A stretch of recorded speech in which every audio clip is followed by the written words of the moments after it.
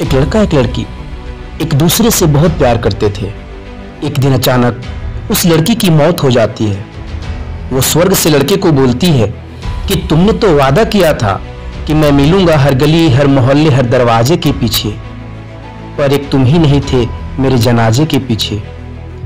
तो लड़की ने बड़ा प्यारा जवाब दिया कि, मैंने वादा किया था कि मैं मिलूँगा हर गली, हर मोहल्ले, हर दरवाजे के पीछे, पर शायद तुमने मुड़कर देखा ही नहीं। कि एक और जनाजा था तुम्हारे जनाजे के पीछे।